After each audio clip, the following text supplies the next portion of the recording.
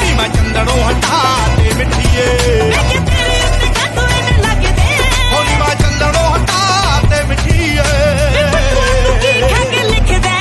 ਆਓ ਗੱਲ ਕਰ ਹੁਸਨ ਤੇਰਾ 80 ਡਿਗਰੀ ਹੀਜ਼ ਨਾ ਖਰੋ ਟਲ ਜਾ ਪਲੀਜ਼ ਨਾ ਖਰੋ ਕਰਾਉਂਦੀ ਬੈਂਡ ਮੁੰਡਿਆਂ ਦੇ ਨੀਜ਼ ਨਾ ਖਰੋ ਟਲ ਜਾ ਪਲੀਜ਼ ਨਾ ਖਰੋ ਨੀ ਟੀਜ਼ ਨਾ ਖਰੋ ਪਲੀਜ਼ ਨਾ ਖਰੋ ਨੀ ਉੱਠਦੀ ਆ ਕਾ